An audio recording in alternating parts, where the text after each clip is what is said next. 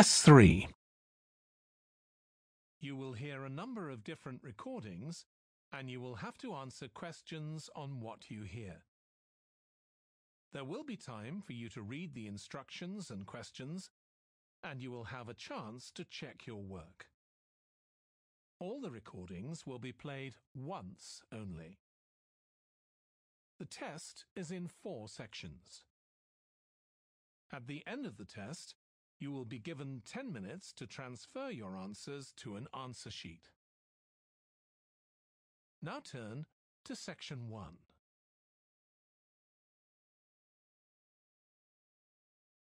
Section 1. You will hear a man phoning a woman who lives in an English city called Banford to get some advice about moving to that city. First, you have some time to look at questions 1 to 5.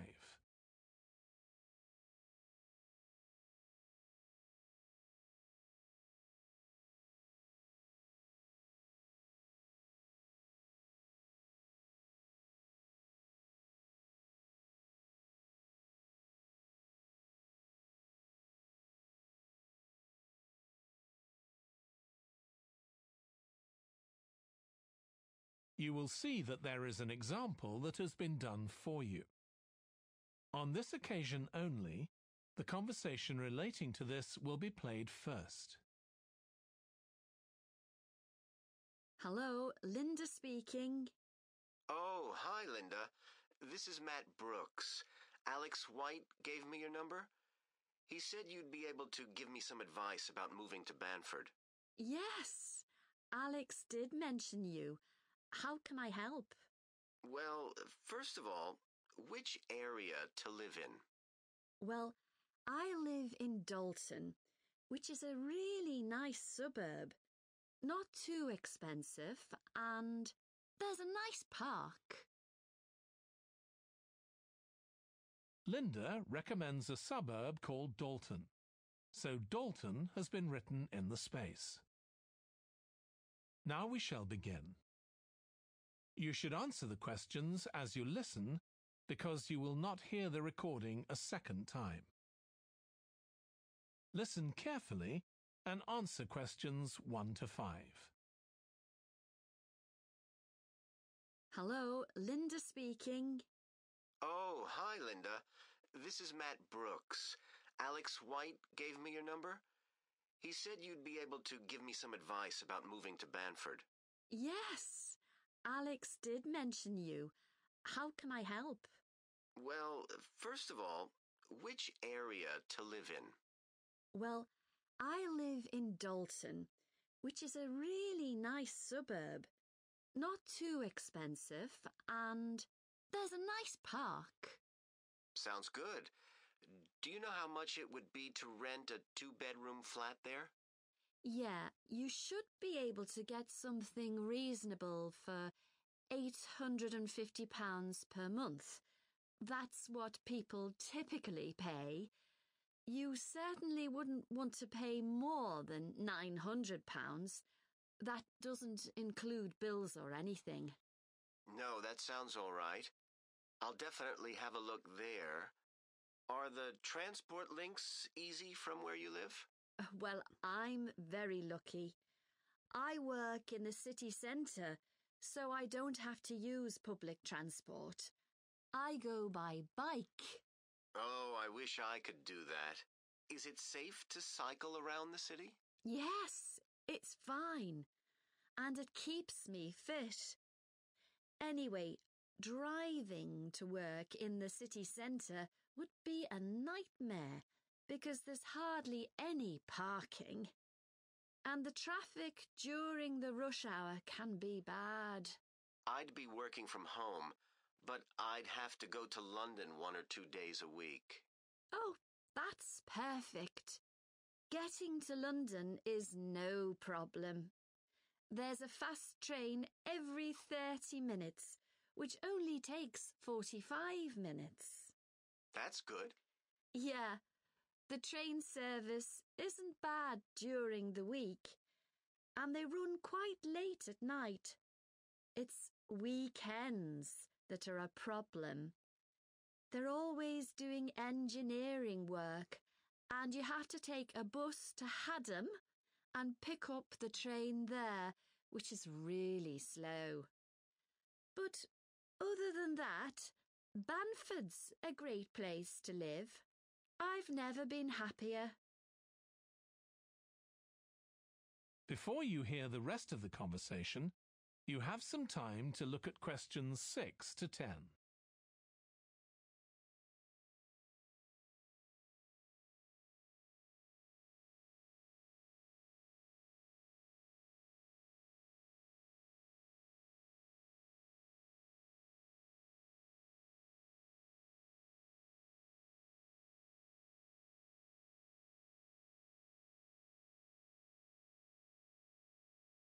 Now listen and answer questions 6 to 10. There are some nice restaurants in the city centre and a brand new cinema, which has only been open a couple of months. There's a good art centre too. Sounds like Banford's got it all. Yes, we're really lucky. There are lots of really good aspects to living here. The schools are good, and the hospital here is one of the best in the country. Everyone I know who's been there's had a positive experience.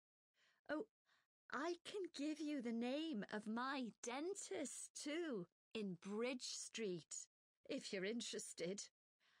I've been going to him for years and I've never had any problems.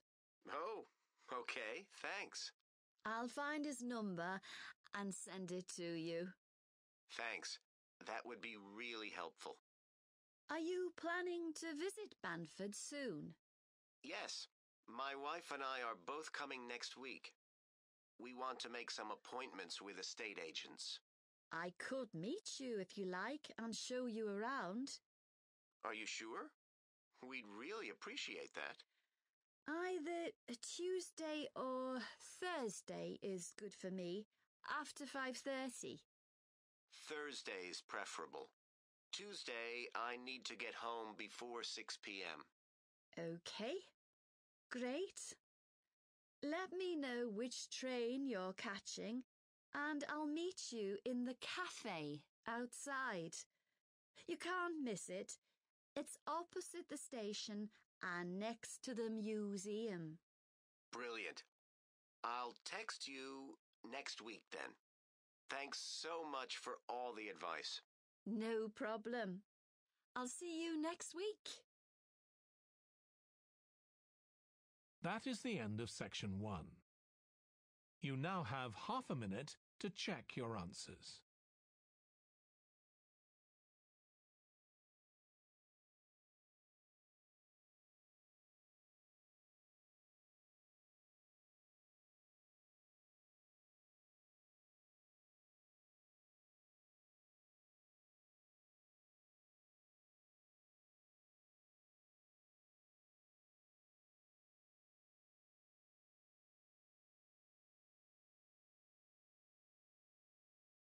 Now turn to section 2.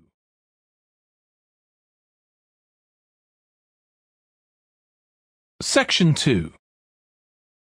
You will hear a fitness instructor talking on the radio about different ways of keeping fit. First, you have some time to look at questions 11 to 16.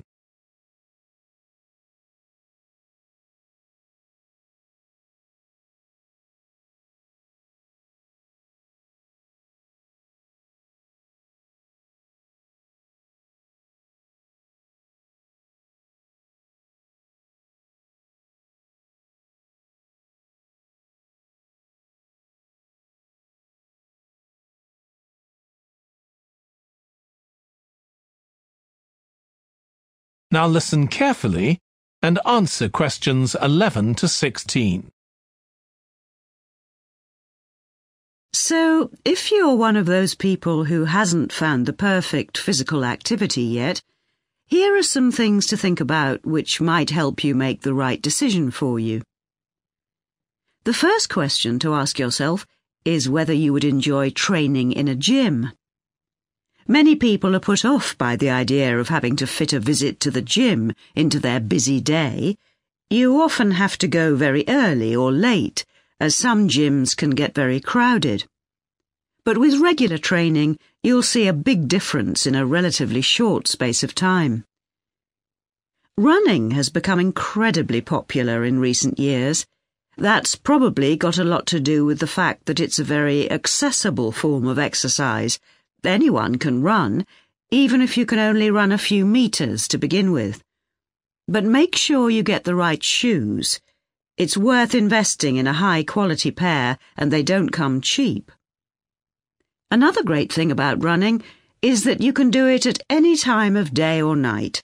The only thing that may stop you is snow and ice. Swimming is another really good way to build fitness. What attracts many people is that you can swim in an indoor pool at any time of year. On the other hand, it can be quite boring or solitary. It's hard to chat to people while you're swimming lengths. Cycling has become almost as popular as running in recent years. That's probably because, as well as improving their fitness, many people say being out in the fresh air in a park or in the countryside can be fun Provided the conditions are right, of course. Only fanatics go out in the wind and rain. Yoga is a good choice for those of you looking for exercise which focuses on developing both a healthy mind and body. It's a good way of building strength, and with the right instructor, there's less chance of hurting yourself than with other more active sports. But don't expect to find it easy. It can be surprisingly challenging especially for people who aren't very flexible.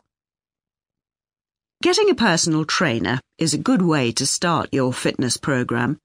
Obviously, there can be significant costs involved, but if you've got someone there to encourage you and help you achieve your goals, you're less likely to give up. Make sure you get someone with a recognized qualification, though, or you could do yourself permanent damage. Before you hear the rest of the radio program, you have some time to look at questions 17 to 20.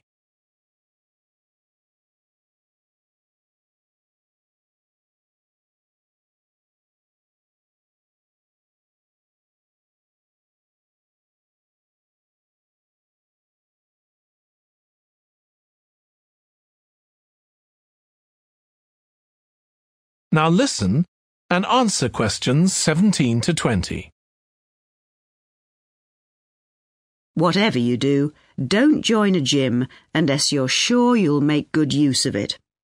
So many people waste lots of money by signing up for membership and then hardly ever go. What happens to their good intentions? I don't think people suddenly stop caring about improving their fitness or decide they have more important things to do I think people lose interest when they don't think they're making enough progress. That's when they give up hope and stop believing they'll ever achieve their goals. Also, what people sometimes don't realize when they start is that it takes a lot of determination and hard work to keep training week after week, and lots of people don't have that kind of commitment. One thing you can do to help yourself is to set manageable goals. Be realistic and don't push yourself too far. Some people advise writing goals down, but I think it's better to have a flexible approach. Give yourself a really nice treat every time you reach one of your goals. And don't get too upset if you experience setbacks. It's a journey. There are bound to be difficulties along the way. That is the end of section two. You now have half a minute to check your answers.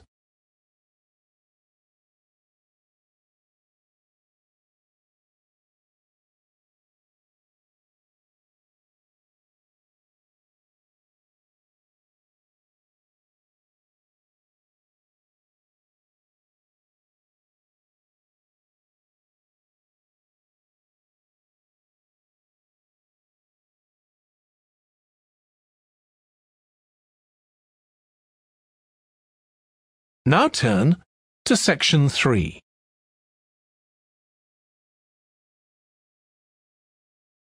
Section 3. You will hear a textile design student called Jim discussing his project on using natural dyes for colouring fabrics with his tutor. First, you have some time to look at questions 21 to 24.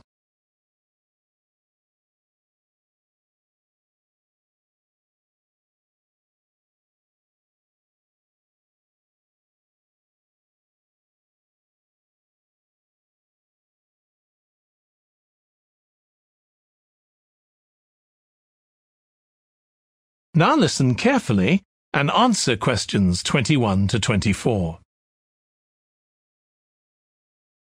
OK, Jim. You wanted to see me about your textile design project. That's right. I've been looking at how a range of natural dyes can be used to colour fabrics like cotton and wool. Why did you choose that topic? Well, I got a lot of useful ideas from the museum, you know, at that exhibition of textiles but I've always been interested in anything to do with colour. Years ago, I went to a carpet shop with my parents when we were on holiday in Turkey, and I remember all the amazing colours. They might not all have been natural dyes. Maybe not, but for the project, I decided to follow it up. And I found a great book about a botanic garden in California that specialises in plants used for dyes. OK. So in your project, you had to include a practical investigation. Yeah. At first, I couldn't decide on my variables. I was going to just look at one type of fibre, for example, like cotton. And see how different types of dyes affected it? Yes. Then I decided to include others as well. So I looked at cotton and wool and nylon. With just one type of dye? Various types, including some that weren't natural, for comparison. OK. So I did the experiments last week. I used some ready-made natural dyes. I found a website which supplied them. They came in just a few days, but I also made some of my own. That must have taken quite a bit of time. Yes. I thought it'd just be a matter of a teaspoon or so of dye, and actually that wasn't the case at all. Like, I was using one vegetable, a beetroot, for a red dye, and I had to chop up a whole pile of it. So it all took longer than I'd expected. One possibility is to use food colourings. I did use one. That was a yellow dye, an artificial one. Tartrazine? Yeah, I used it on cotton first. It came out a great colour. But when I rinsed the material, the colour just washed away. I'd been going to try it out on nylon, but I abandoned that idea. Were you worried about health issues? I thought if it's a legal food colouring, it must be safe. Well, it can occasionally cause allergic reactions, I believe. Before you hear the rest of the discussion, you have some time to look at questions 25 to 30.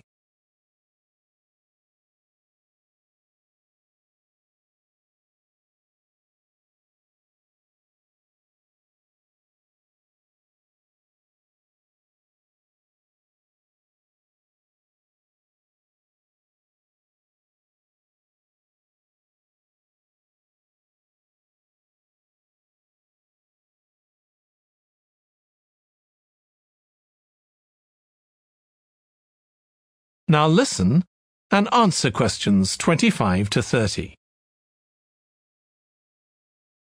So what natural dyes did you look at?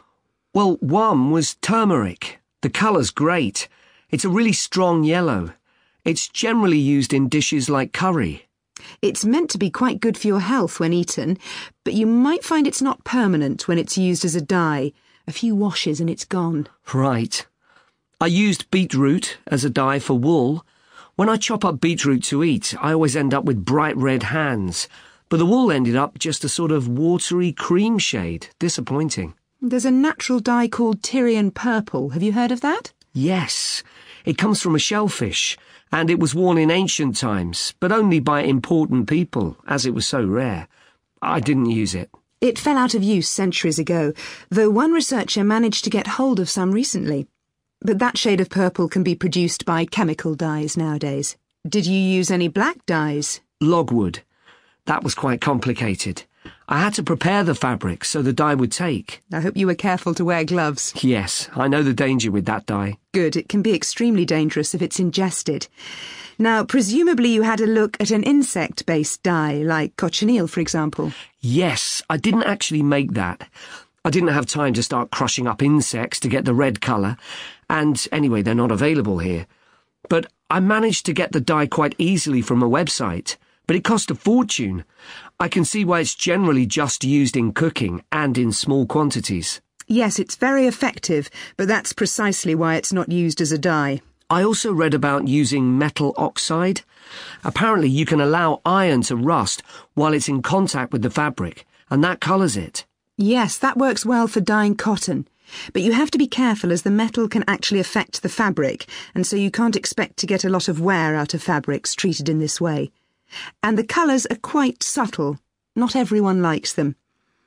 Anyway, it looks as if you've done a lot of work. That is the end of section 3. You now have half a minute to check your answers.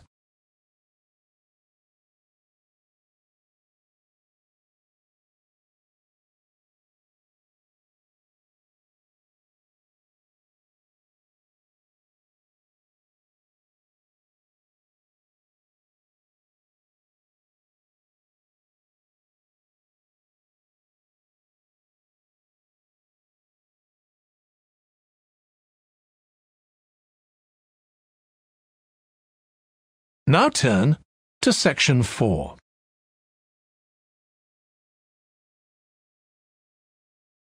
Section 4. You will hear part of a biology lecture about an animal called the sleepy lizard that is common in parts of Australia. First, you have some time to look at questions 31 to 40.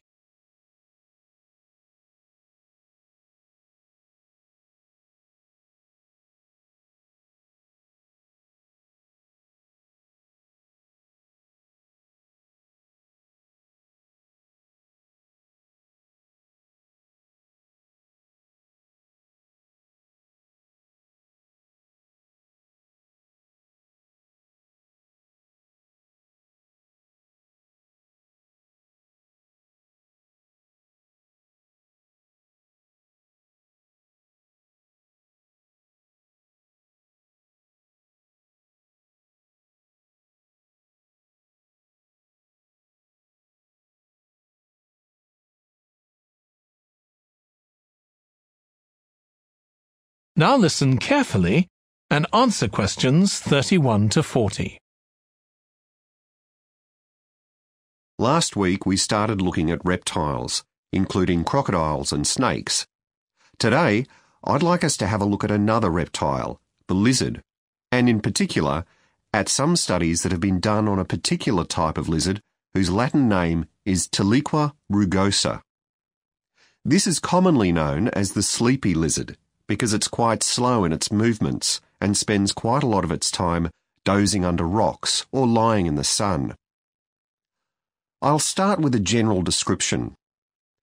Sleepy lizards live in Western and South Australia, where they're quite common. Unlike European lizards, which are mostly small, green, and fast moving, sleepy lizards are brown, but what's particularly distinctive about them is the colour of their tongue, which is dark blue in contrast with the lining of their mouth, which is bright pink. And they're much bigger than most European lizards. They have quite a varied diet, including insects and even small animals, but they mostly eat plants of varying kinds. Even though they're quite large and powerful, with strong jaws that can crush beetles and snail shells, they still have quite a few predators. Large birds like cassowaries were one of the main ones in the past, but nowadays they're more likely to be caught and killed by snakes. Actually, another threat to their survival isn't a predator at all, but is man-made. Quite a large number of sleepy lizards are killed by cars when they're trying to cross highways. One study carried out by Michael Freake at Flinders University investigated the methods of navigation of these lizards. though they move slowly, they can travel quite long distances. And he found that even if they were taken some distance away from their home territory, they could usually find their way back home as long as they could see the sky. They didn't need any other landmarks on the ground.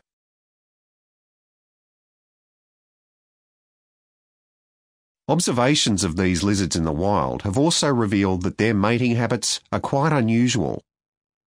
Unlike most animals, it seems that they're relatively monogamous, returning to the same partner year after year. And the male and female also stay together for a long time, both before and after the birth of their young. It's quite interesting to think about the possible reasons for this. It could be that it's to do with protecting their young. You'd expect them to have a much better chance of survival if they have both parents around. But in fact, observers have noted that once the babies have hatched out of their eggs, they have hardly any contact with their parents. So there's not really any evidence to support that idea. Another suggestion's based on the observation that male lizards in monogamous relationships tend to be bigger and stronger than other males. So maybe the male lizards stay around so they can give the female lizards protection from other males. But again, we're not really sure. Finally, I'd like to mention another study that involved collecting data by tracking the lizards. I was actually involved in this myself. So we caught some lizards in the wild and we developed a tiny GPS system that would allow us to track them and we fixed this onto their tails.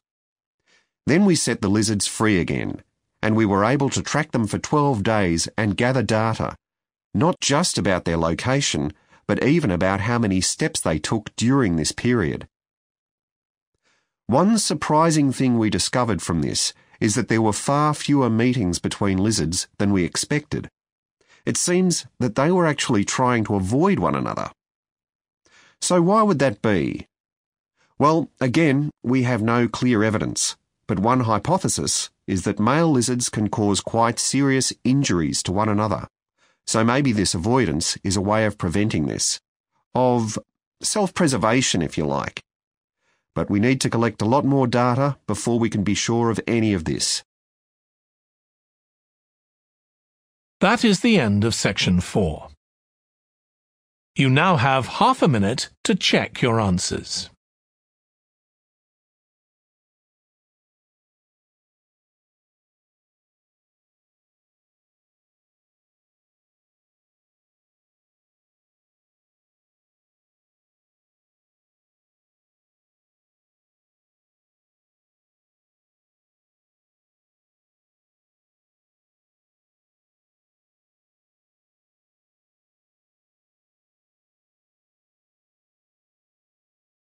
That is the end of the listening test.